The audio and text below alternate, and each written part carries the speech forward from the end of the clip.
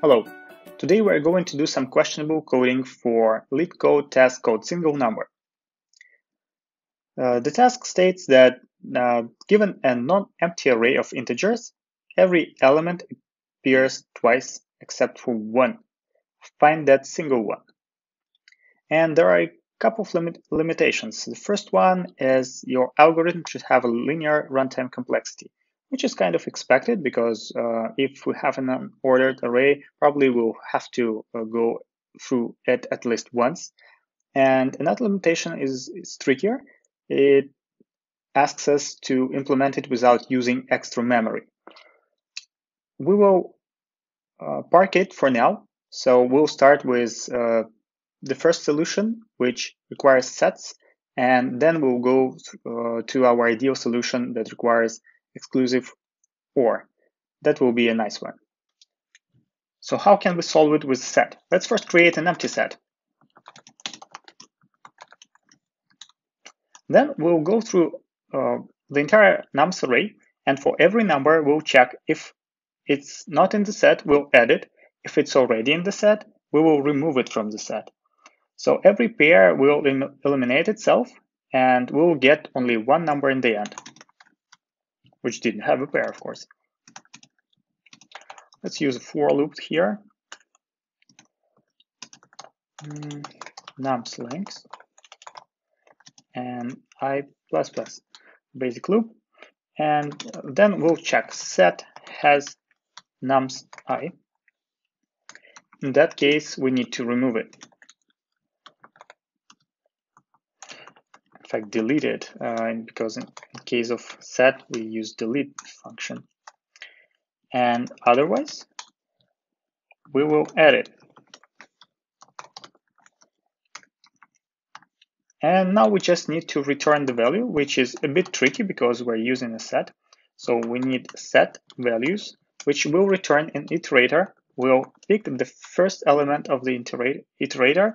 It's like an entry, an object, and we need a value from there. So that that's will be it. Let's submit it. It works. Now let's estimate the time and space complexity. So time O, big O uh, from n, so it's linear. We uh, need to go through the array uh, for one time, yeah. And for space, it's a bit trickier. It's big O of n uh, divided by half, maybe plus one in the worst case, uh, because we have um, we can have like half of nums in the set at the very um, single moment and um, one with the pair should can also be there. So of course we we don't count this um, one and we don't count the divider. So it will be basically it will be a big O n, which is also linear uh, space complexity, and we want to make it better. So let's let's do it in the best way possible. Okay, so how can we do it better? We can use XOR operation, which is super not obvious. That's why I'll explain it later on. So uh, the implementation is very straightforward. We will uh, iterate through all the nums and apply XOR for every number. So we'll reduce the entire array to a single number with XOR operator. We'll return uh, nums reduce which uh, will use accumulator and num for every iteration. And we'll just do XOR between um, accumulator and num. That's it. That's submitted. Works like a charm. Uh, so what is time complexity? Time. Time, uh, so big O from n. So it's still linear. We still need to go through entire array, but the improvement is in space. So it's big O uh, from 1. So it's uh, constant space. Yeah, we use a accumulator to um, hold the intermediate value. but still it's just um, constant space. So that's a drastic improvement. So how does uh, XOR helps us? So XOR is not very widely used, but it allows some pretty nice tricks. Uh, let's first remind ourselves how does it work with single bits. So we have uh, four cases. And uh, in cases where bits are equal, we, as a result, we get um, zero. And when they are different, we, we get one. What, what will happen if we'll XOR two numbers? For example, XOR 3 and 3. Uh, let's represent 3 as in binary form is 1, 1. And uh, another 3 will be the same.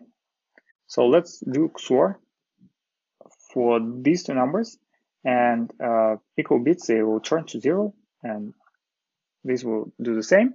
So in the end, we'll get 0 and it will work for any two, two numbers that are equal. But the most obvious thing is what will happen if we will get um, multiple XOR. So we have number A, which will XOR with B, and then we'll XOR it with A. But it will be B in the end.